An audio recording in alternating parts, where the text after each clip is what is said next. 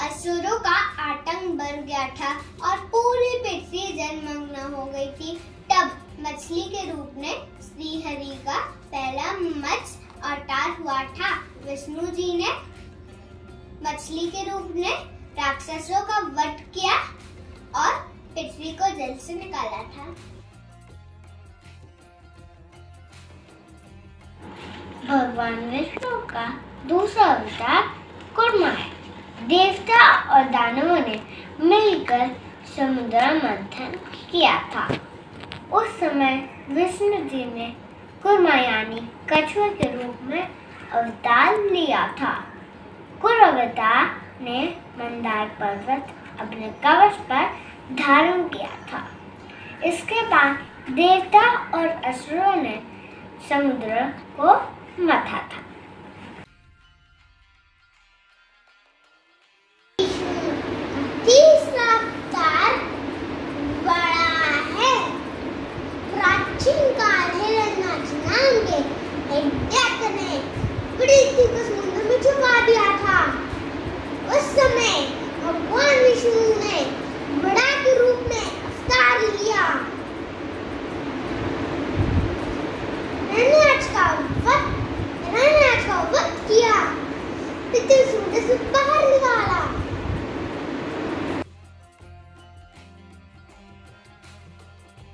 भगवान विष्णु का चौथा नरसिंह अवतार है।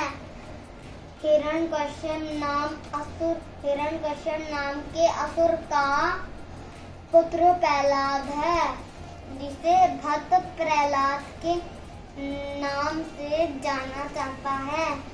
प्रहलाद की रक्षा के लिए विष्णु जी ने नरसिंह अवतार लिया था और हिरण कश्यप का वध किया था। विष्णु का पांचवा अवतार वामन है। असुरों के राजा बलि का घमंड तोड़ने के लिए भगवान विष्णु ने वामन अवतार लिया था। राजा बलि ने वामन देव को तीन पग ज़मीन देने का वचन दिया था। तो वामन देव ने एक पग में धरती और दूसरे पग में स्वर्ग नाप लिया था। तो राजा बलि ने तीसरा पग अपने सर पर रखवा लिया और वे पाताल लोक पहुँच गए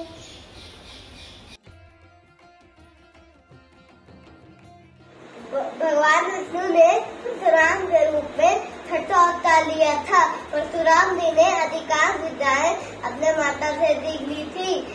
वे पशु पक्षियों तक की भाषा समझते थे और उनसे बात कर सकते थे। उनके जाने माने तीर्थ थे विष्णु और द्रोण।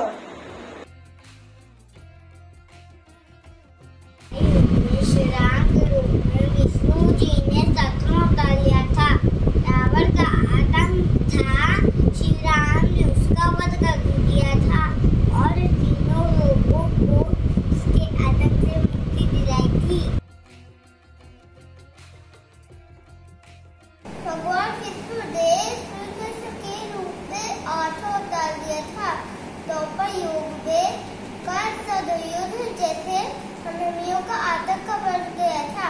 उस समय श्री कृष्ण का जन्म हुआ। श्री कृष्ण ने कंस का वध किया और कौरव वंश का अंत करवाया और धर्म की स्थापना की।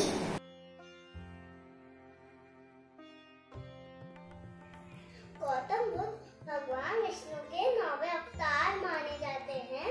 उन्होंने बौद्ध धर्म की स्थापना की।